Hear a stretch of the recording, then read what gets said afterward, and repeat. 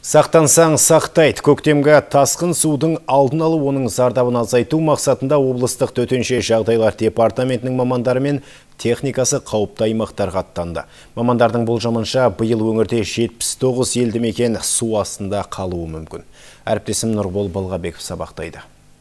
Сап төгін мына құтқарушылар су басу қаупі бар Ғабит Мүсірепов, Айыртау, Шалақын және Темірезев аудандарын аттануға дайын тұр. Олар тасқын бола қалған жағдайда елді мекендерде тұрғындарға көмек көрсетеді. Сондай алдын ала өзен мұз кесу, жару сынды жұмыстарды атқарып, су тасқынына мониторинг жүргізеді. Құтқарушылар өтімділігі жоғары арнайы көліктермен жарақтандырылған. топтастық жалпы құрамы 40 адам ол жаңа айтып өткендей екі ауданға ғабит мүсірепов және айыртау аудандарына айыртау ауданында гусавка гусаковка деген ауылда болады Ә, ғабит мүсірепов ауданында рузаевка және чистополье деген ауылдарда жеке құрам орын, ә, орналастырады жеке құрам жалпы саны 40 алты мотопомпа бар су сорғыш 8 техника және төрт қайық бар Толқын Сыздықов облыстық төтенше жағдайлар департаментінің бас инженері. Ол жеке құраммен бірге Тимирязев ауданына қарасты Степной ауылына барып, жағдайда бақылауда ұстамақ. Наша группировка состоит из 11 человек. Біздің жеке құрамда 11 адам бар және екі техникамен су сорғыш құралдармен сайландық. Жігіттер тасқынға тас түйін дайын. Бірнеше рет оқу жаттығу жұмыстарын жүргіздік. Бәрі ойдағыдай болады деген сенімдеміз. Жалпы жылда көктемгі су тасқынына дайындық алдын ала жүргізіледі. Бұл өз нәтижесін беріп жатыр. Нұрбол Балғабеков, Әділ Нұржанов, жаңалықтар қызметі.